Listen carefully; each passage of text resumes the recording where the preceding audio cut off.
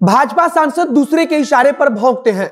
यह बात मुकेश सैनी की तरफ़ से भारतीय जनता पार्टी के सांसद अजय निषाद के लिए कही गई थी। और अब इसका जवाब देते हुए भारतीय जनता पार्टी के सांसद अजय निषाद ने कहा है कि भारतीय जनता पार्टी के नेता भौंकते नहीं है, बल्कि दहाड़ते हैं। अजय निषाद ने तो यहाँ तक कहा कि अगर भारतीय जनता पार्टी के साथ रहना है तो योगी आदित्यनाथ जिंदाबाद बोलना ही पड़ेगा। और अगर नहीं बोलेंगे तो उन्हें समझ में आ जाएगा। मुजफ्फरपुर से भाजपा सांसद अजय निषाद ने आगे कहा कि सबसे पहले तो मंत्री मुकेश सहनी को मुख्यमंत्री योगी जी से माफ़ी मांगनी चाहिए। मुकेश सहनी अजय निषाद को भौंकने वाला करार देते हैं। तो भारतीय जनता पार्टी के सांसद कहते हैं कि हम भौंकते नहीं, बल्कि दहाड़ते हैं। पूरा मामला यह है कि मंत्री मुकेश सहनी ने कुछ दिन पहले कहा कि उत्तर प्रदेश में निषाद पार्टी के मुखिया ने योगी आदित्यनाथ के हाथों निषाद समुदाय को बेच दिया है। इधर विकासशील इंसान पार्टी के एक और विधायक थे, जिनका नाम मुसाफिर पासवान है। उनके निधन से उनकी सीट भी खाली हो गई है और इसी सीट पर चुनाव के बारे में बोलते हुए भारतीय जनता पार्टी के सांसद ने कह दिया कि मुकेश सहनी तो खुद भारतीय जनता पार्टी की अनुकंपा पर नेता बने हैं। उनका मतलब था कि भारतीय जनता पार्टी की कृपा पर मुकेश सहनी मंत्री बने हुए हैं और यह बात विकासशील इंसान पार्टी के मुखिया को पसंद नहीं आई और फिर बात बिगड़ती चली गई। अब नमस्कार, मेरा नाम है मोहित कुमार सिंह और आप देख रहे हैं हमारा विशेष कार्यक्रम एक्सप्लेनर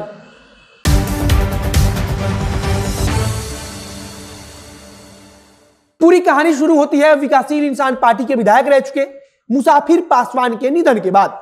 उनके निधन के बाद जब उनकी सीट खाली होती है, तब भारतीय जनता पार्टी के सांसद कहते हैं कि मुकेश सहनी तो अनुकंपा वाले नेता हैं। अब इस बात पर मंत्री मुकेश सहनी भड़क गए और उन्होंने भारतीय जनता पार्टी के सांसद अजय निषाद को कह दिया कि वे दूसरे के इशारों पर भोंकते हैं।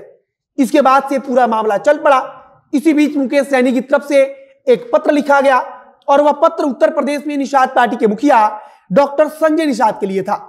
पत्र में लिखा गया था कि संजय निषाद ने व्यक्तिगत लाभ के लिए योगी आदित्यनाथ के हाथों निषाद समुदाय को बेच दिया है। इस बात से भी भारतीय जनता पार्टी के सांसद भड़क गए और फिर उन्होंने कहा कि अगर भारतीय जनता पार्टी में रहना होगा या भारतीय जनता पार्टी के साथ चलना होगा तो योगी आदित्यनाथ का जिंदाबाद वाला नारा तो बोलना ही पड़ेगा। भारतीय जनता पार्टी के सांसद ने तो कहा कि मंत्री महोदय को योगी जी से माफ़ी भी मांगनी चाहिए। आगे एक प्रकार से चेतावनी देते हैं कि अगर योगी आदित्यनाथ जिंदाबाद का नारा नहीं बोलेंगे तो उन्हें समझ में आ जाएगा। अजय निषाद की तरफ़ से यह सवाल भी पूछा गया कि जो खुद को सन्नाफ मल्लाह कहते हैं, उन्होंने अब तक अपने समाज के लिए क्या किया है? उन्होंने फिर से एक बार कहा है कि आज मुकेश सहनी जहाँ है वह भारतीय जनता पार्टी के कारण है और वे देखे कि वह कहाँ से कहाँ पहुँच गए। भारतीय जनता पार्टी के सांसद ने तो यहाँ तक कह दिया कि अगर मुकेश सहनी में सुधार नहीं आता है तो फिर जब अगला चुनाव आएगा, तब भारतीय जनता पार्टी को उनके बारे में विचार करना पड़ेगा। भाजपा सांसद का इशारा था कि अगर मुकेश सहनी नहीं मानते हैं तो अगले चुनाव के समय भाजपा को उनसे दूर हटने के लिए भी विचार करना होगा। इसके बाद भाजपा सांसद कहते हैं कि वे एक प्रतिष्ठित पद पर बैठे हैं और उसके बावजूद भी भौंकने जैसे शब्द का उपयोग कैसे कर सकते हैं? इधर मंत्री मुकेश सैनी कहते हैं कि मल्लाह समाज का बेटा आज अपने दम पर यहाँ तक पहुँचा है और सरकार भी चला रहा है। कुछ दिन पहले विकासशील इंसान पार्टी के मुखिया मुकेश सैनी की तरफ़ से उत्तर प्रदेश में निषाद पार्टी के मुखिया डॉक्टर संजय निषाद को एक पत्र लिखा गया था और उसमें योगी आदित्यनाथ को लेकर भी टिप्पणी की गई थी। और इसी बात से भारतीय जनता पार्टी के नेता नाराज़ है। मुकेश सैनी वैसे भी उत्तर प्रदेश में, योगी आदित्यनाथ के ऊपर अक्सर निशाना साधते रहते हैं। और वे कहते हैं कि हमारे समाज की जो मांग है, उसी अगर नहीं मानी जाएगी तो हम विरोध करेंगे।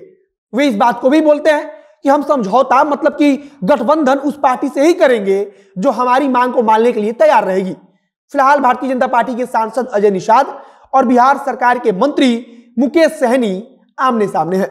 भाजपा सांसद का कहना है कि योगी आदित्यनाथ से उन्हें माफ़ी मांगनी चाहिए और योगी जी पर सवाल उठाने वाला भाजपा के साथ नहीं रह सकता है। तो दूसरी तरफ़ मुकेश सैनी भाजपा सांसद को भौंकने वाला करार देते हैं। अब आगे अगर किसी भी पक्ष की तरफ़ से कोई प्रतिक्रिया आती है तो उसे हम आप तक पहुंचाएँगे। इस वीडियो को यही समाप्त करते हैं। वीडियो को शेयर कीजिएगा और अगर फेसबुक पर देख रहे हैं तो पेज को लाइक कर लीजिए तथा यूट्यूब चैनल को सब्सक्राइब कीजिए। मिलते हैं फिर बहुत जल्द अगले वीडियो में। कैमरे के पीछे खड़े हों प्रकाश और मैं मोहित कुमार सिंह। बहुत बहुत धन्यवाद।